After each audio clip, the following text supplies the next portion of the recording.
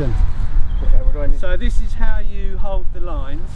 yeah. And when you're, this is a power kite, so it pulls really hard. Okay. And when you first start flying, if you fly like that, Yeah. you won't be able to control the kite as well as if you fly like Okay. that.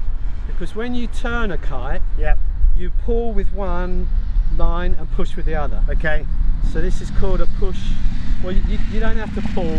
So just You, together. you could do a push turn by just pushing like that. Okay.